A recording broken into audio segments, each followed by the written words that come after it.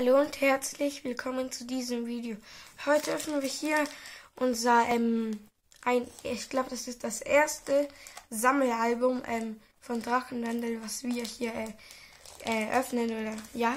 Auf jeden Fall, wir haben hier äh, Rayquaza auf dem Artwork und auch hier auf dem Artwork. Finde ich cool. Auf jeden Fall, äh, ich habe es jetzt erst gefunden. Das ist kein älteres Video, das ist 2022, Leute.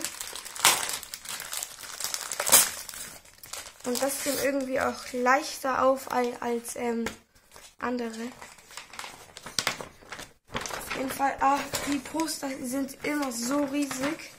Hier mit Rayquaza und Dula, äh, Duraludon Vimax und hier mit Nachtara und Felinara. Dann äh, ja hier das Album. Rayquaza. Und äh, wir kennen es ja irgendwie im Prinzip immer das gleiche, aber halt nur mit anderen Artworks oder anderen Packs. Folibova finde ich cool. Glaciola auch. Aber man hätte es noch blau machen können.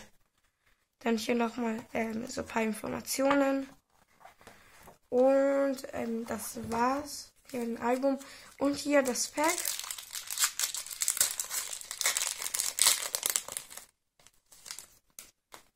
Wir machen mal ähm, ein Skibidi Pack, würde ich sagen.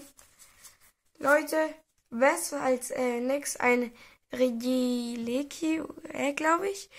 Als ähm, Holo hier auf jeden Fall. Und wir hatten.